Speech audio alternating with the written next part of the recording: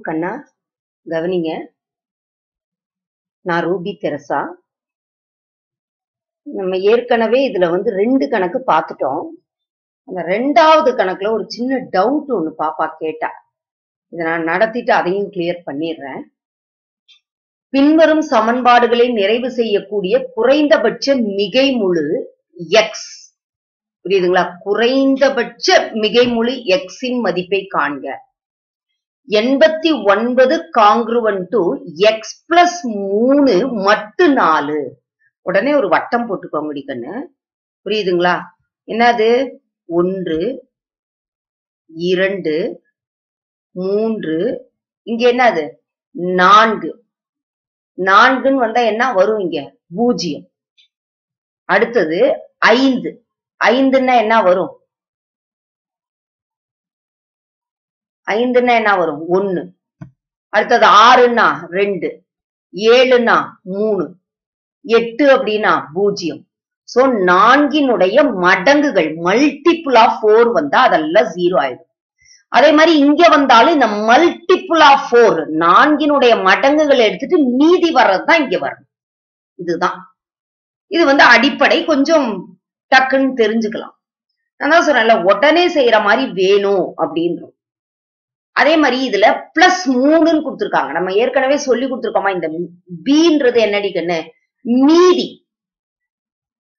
பீன்றது என்னது? மீதி. ஏ minus B ஆனது என்னால் வகுபடும்.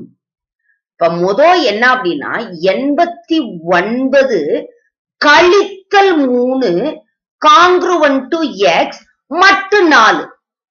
ஏன்டா கண்ணா அப்படி எழுதுனேன் ஏன்னா இந்த இடத்துல எக்ஸ் தான் கண்டுபிடிக்கணும்.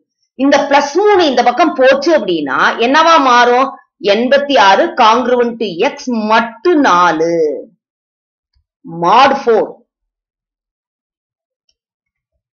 ஒண்ணுமே கிடையாது. நம்ம சொல்லிட்டோம்ல இப்ப மட்டு நாலுன்னா நான்கினுடைய மடங்குகள். அப்ப இதுக்குள்ள நான்கினுடைய மடங்குகள்னு போது என்ன வரும்? எண்பத்தி நாலு. எண்பத்தி நாலு என்ன ஆயிடும்? பூஜ்ஜியம். அடுத்து என்னது? எண்பத்தி அஞ்சு. எண்பத்தி அஞ்சுன்னா என்ன வரும்? ஒன்னு எண்பத்தி ஆறுன்னா என்ன வரும்? ரெண்டு. அப்ப எக்ஸ் ஈக்குவல் டு என்னடிக்க நீங்க எண்பத்தி ஆறு காங்க்ருவன் டு ரெண்டு மட்டு நாலு. அப்ப குறைந்தபட்ச மிகைமுழு என்ன அது? எக்ஸ் ஈக்குவல் டு ரெண்டு. அவ்வளவுதான். இது ஆக்சுவலா வாயிலேயே கணக்கு போட்டோம்னா உங்களுக்கு ஸ்டெப்ஸ் வேணும் அப்படின்றதுனால மிஸ் செய்யறேன். இது மெத்தட் ஒன் இதே மாதிரிதான் அதுலயும் சொல்லி கொடுத்து அதுல அவளுக்கு எந்த டவுட்டும் இல்ல. செகண்ட் மெத்தட்ல வர சொல்றல பிள்ளைக்கு நீங்க கேள்வி கேட்கணும். நாங்க நடத்துறது எல்லாமே பர்ஃபெக்ட்ன்றதெல்லாம் கிடையாது. உனக்கு சந்தேகம் வரணும். நடத்தும் போது என்ன மிஸ் இது என்ன அப்படின்னு கேட்கணும். இப்ப இதுல என்னது? நமக்கு கொடுத்திருந்தாங்க எண்பத்தி ஒன்பது காங்க்ருவன் டு எக்ஸ் பிளஸ் மூணு. என்னது? மட்டு நாலு. நமக்கு தெரியும் தானே என்னது A minus B divided by N equal to K A congruent to B mod N இந்த பின்றது என்னது? மீதி. திரும்ப திரும்ப ரீகால் பண்ணுங்க. சொல்லி சொல்லி பழகுங்க. அப்ப A minus B equal to என்னது? என் கே புரியுதா? எண்ணினுடைய மடங்குகள் ஏ மைனஸ் பின்றது இதுதான். இந்த வார்த்தையை அதுல யூஸ் பண்ணியிருந்தா அது ஒரு காம்ப்ளிகேட் ஆயிருக்காது. அதுல நான் யூஸ் பண்ணல. இப்ப இந்த கணக்குல இப்ப அவ கேட்டதுனால இதை இன்னும் சிம்பிளிஃபை பண்ணி கொடுக்குறேன் நான். இப்ப இந்த இடத்துல நமக்கு என்ன வரணும்? எண்பத்தி ஒன்பது கழித்தல் மூணு. இந்த எக்ஸையும் கூட இங்க கொண்டு வந்துடலாம் ஒரே ஸ்டெப்ல செய்யணும்னா. கழித்தல் எக்ஸ் டிவைடட் பை நாலு ஈக்குவல் டு கே முடிஞ்சா இந்த போர் கேவை ஒரே ஸ்டெப்ல எழுதிக்கலாம். இப்ப எண்பத்தி ஒன்பது கழித்தல் மூணு என்னடி கண்ணு? எண்பத்தி ஆறு கழித்தல் எக்ஸ் ஈக்குவல் டு நாலு கே எண்பத்தி ஆறு கழித்தல் எக்ஸ்ன்றது நான்கினுடைய மடங்குகளா வரணும்.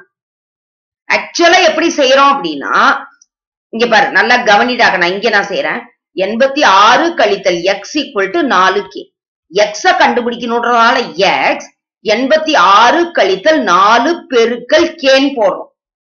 இப்ப இந்த கேல மதிப்பு போட்டுக்கிட்டே வரீங்க இல்லைங்களா?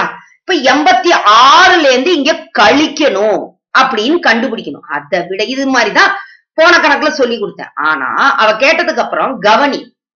இப்ப இப்ப இது நாளினுடைய மடங்கள். இது எடுத்துக்காட்டு கணக்குல இப்படி சொல்லி இருந்தேன் நான். அதே மாதிரியே இந்த இடத்துல செஞ்சுக்கலாம். இப்படி செய்யறதுக்கு ஆனா தெரிஞ்சுக்கணும். ரெண்டு மூணு முறை தெரியணும்ன்றதுனாலதான் அந்த கணக்குல இந்த மெத்தடை யூஸ் பண்ணேன். இப்ப அவன் வந்து கேட்டதுனால இப்ப இதை நான் சொல்றேன். இப்ப நான்கினுடைய மடங்குகள். என்னடி கண்ணு? நான்கினுடைய மடங்கள் அப்ப இந்த எக்ஸ்ல எந்த எண்ணை போட்டா இது நான்கினுடைய மடங்கா மாறும்? வெரி குட் எண்பத்தி ஆறு கழித்தல் ரெண்டு. அப்ப நான்கினுடைய மடங்காக மாறும். புரியுதா? புரியலையா? அப்ப என்னது? எண்பத்தி ஆறு. இப்ப எண்ணாமல் இப்ப கே வந்து அவங்க கேட்கல ஆக்சுவலா கே என்ன பண்ணல அவங்க கேட்கல எக்ஸ் தான் கேக்குறாங்க. எக்ஸ் தான் அவங்க கேக்குறாங்க. அதனால நீ தாராளமா என்ன பண்ணலாம்? எக்ஸ் ஈக்குவல் டு ரெண்டுன்னு எழுதலாம். இருந்தாலும் ஒருவேளை இதுல கேவும் கேக்குற மாதிரி கணக்குகள் ஏதாவது வந்துருச்சுன்னா இப்ப இங்க தெரியணும். இப்ப இங்க என்ன வந்துச்சு? எண்பத்தி ஆறுன்றது எண்பத்தி நாலு ஈக்குவல் டு நாலு கே அப்ப கேவோட மதிப்பு என்னடி கண்ணு? எண்பத்தி நாலு பை நாலு. அப்ப என்னது? ரெண்டாங்க எட்டு ஓர் நாள் நாலு. அப்ப என்ன அது கரெக்டா வருதா இல்லையான்னு பாருங்க. எண்பத்தி நாலு ஈக்குவல் டு நாலு பெருக்கள் இருபத்தி ஒண்ணு சரியாடி கண்ணு? நாலு பெருக்கள் இருபத்தி ஒண்ணு கரெக்டா வருதா இல்லையான்னு பாருங்க.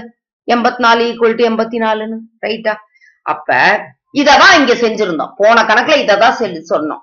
எண்பத்தி ஆறு கழித்தல் நாலு பெருக்கள் இந்த கேல ஒன்னு ரெண்டு மூணு நாலு எதை? இருபத்தி ஒன்ன போட்டோம்னா எக்ஸ் கிடைக்குது.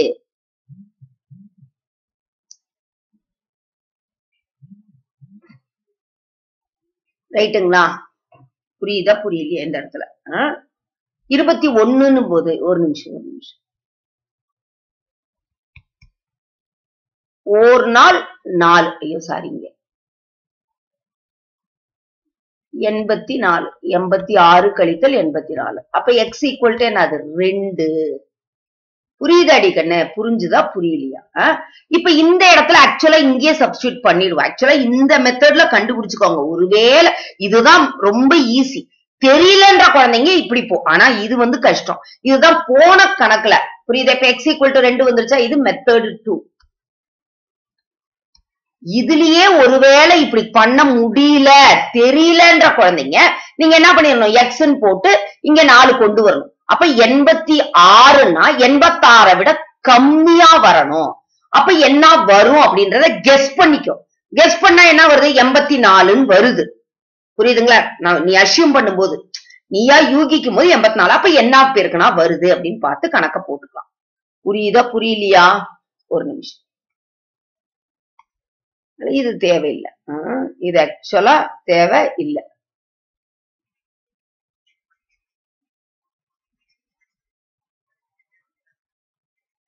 ரைட் அடிக்கண்ணு இப்ப இதுலயே இப்படி செய்யறதுக்கு பதிலா இது மாதிரியும் செய்யலாம். சரியா? இது போன கணக்குல பாப்பா டவுட் கேட்டா அதனால அதை வந்து இதுலயே கிளாரிஃபை பண்ணிடுறேன் நான். என்ன அப்படின்னா இங்க பாருங்க. போன கணக்கு என்னன்னா எழுபத்தி எட்டு பிளஸ் எக்ஸ் காங்குருவன் டு மூணு மாட் ஃபைவ் இதுல என்ன பண்றோம் எழுபத்தி எட்டு பிளஸ் எக்ஸ் மைனஸ் மூணு டிவைடட் பை அஞ்சு ஈக்குவல் டு கே எழுபத்தி அஞ்சு பிளஸ் எக்ஸ் ஈக்குவல் டு ஐந்தின் மடங்கு. இந்த இடத்துல என்ன பண்ணணும் நம்ம அப்படின்னா கவனிங்க எக்ஸ் ஈக்குவல் டு அஞ்சு கே மைனஸ் எழுபத்தஞ்சுன்னு போட்டோம். இப்ப அவ கேட்ட மாதிரி இதுல என்ன இது? இது ஐந்தினுடைய மடங்கா? அப்ப இந்த இடத்துல எக்ஸ் இருக்கிற இடத்துல என்ன போட்டாதான் ஐந்தினுடைய மடங்குன்னு மாறும். அஞ்சு போட்டாதான் மாறும். அப்ப எக்ஸ் ஈக்குவல் டு என்னது? அஞ்சு டைரக்டா ஆன்சர் கண்டுபிடிக்கலாமே? கண்டுபிடிக்க முடியாதுன்றது கிடையாதே. புரியுதா? புரியலையா? இப்ப நமக்கு இங்க என்ன வரணும்? ஐந்தினுடைய மடங்கு. அதாவது இதுல இருந்து எழுபத்தஞ்ச கழிச்சா எக்ஸினுடைய மதிப்பு வரணும் அப்படின்னு பார்த்தோம் அதுல. புரியுதுங்களா? அப்ப என்ன போட்டோம்? அஞ்சு பெருக்கல் பதினாறு கழித்தல் எழுபத்தி அஞ்சு. அப்ப என்னது? எண்பது கழித்தல் எழுபத்தி அஞ்சு ஈக்குவல் டு அஞ்சு. ஏன் வந்து பதினஞ்சு போடல? எழுபத்தஞ்சு கழித்தல் எழுபத்தஞ்சு என்னன்னு வந்துருது? பூஜ்ஜியம்னு வந்துருது. அதனால வரக்கூடாது. அதுக்கப்புறம் பதினாறு தான் போடணும். நீ கேட்கணும் மிஸ் எண்பதுன்றது மல்டிப்ளா ஃபைவ் தானே? ஐந்தினுடைய மடங்கு தானே? ஆனா எண்பதுன்னு போட்டீங்கன்னா அதுதான் வரும். வேற வழி கிடையாது. ஏன்னா பதினஞ்சுன்னு எடுத்தோம்னா பூஜ்ஜியம் வருது. அடுத்த பதினாறு தான் எடுக்கணும். அதனால இந்த கிளாரிபிகேஷன் இதுல கொடுத்துருக்கேன். போன வீடியோவோட கிளாரிபிகேஷன் இதுல. அதனால இந்த மெத்தடுக்கு பதிலா இப்படி யூஸ் பண்ணிக்கோங்க. இது என்ன? அது ஐந்தினுடைய மடங்குகள். அப்ப என்ன வரணும்? எண்பது அப்படின்னு வரணும். எண்பதுன்னு வரணும்னா அப்ப கே இருக்க இடத்துல என்ன வரும்? அஞ்சு பெருக்கள் பதினாறுன்னு வரும் புரியுதுங்களா? புரியுதா? புரியலையா? ரைட்டா? அஞ்சு பெருக்கள் பதினாறு என்ன? அது எண்பது. வேற ஒண்ணும் கிடையாது. அதனால பாப்போது இது புரிஞ்சிருச்சா? டவுட் கேட்டவங்க இதை கரெக்டா கிளாரிஃபை பண்ணி பாத்துக்கோங்க சரியாடி கண்ணு புரியுதா? அதனால இப்படி செய்யணும்னா நீ இப்படி செஞ்சுக்கோ. இல்ல இப்படி வேணுமா இப்படி செய். இல்ல மேல இருக்கிற மாதிரி செய்தியா செஞ்சுக்கோங்க. நான் தான் சொல்றல உன்னுடைய திறமையும் உன்னுடையதை பொறுத்துதான் செய்யணும். அதே மாதிரி மட்டு வந்து ரொம்ப இம்பார்ட்டன்ட் இது வந்து கஷ்டம் கஷ்டம். கிடையவே கிடையாது. நீங்க பாருங்களேன் இது அழகா மட்டு வந்து ஆக்சுவலா சிம்பிளிஃபை பண்றதுக்காக கொடுத்ததுதான். புரியுதுங்களா? கணக்க வந்து ரொம்ப எளிமைப்படுத்துறதுக்காக இருக்கக்கூடிய பகுதி தான் மட்டு. ஆனால் நம்ம வந்து அதை கஷ்டம்னு மாத்திரம் அது வேண்டாம். ஏன்னா ரொம்ப ப்ரொசீஜர்ஸ் ஃபாலோ பண்ணி போடுறதுனாலதான் நீங்க என்ன பண்றீங்க இத?